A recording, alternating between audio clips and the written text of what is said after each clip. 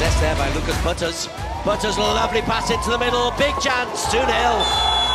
Two goals in rapid succession.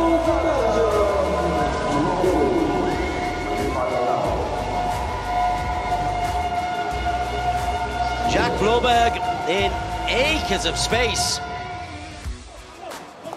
Swept in, lovely turn. Oh, fabulous goal, Olivier Hortensius. Oh, that's top draw. No wonder the celebrations are there. Second meaningful chance, and it could come here.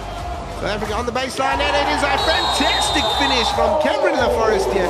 Incredible run there from Tabang J. He took the ball down, ran onto the baseline, it inside, and Cameron Forestier fires that into the roof of the net. No chance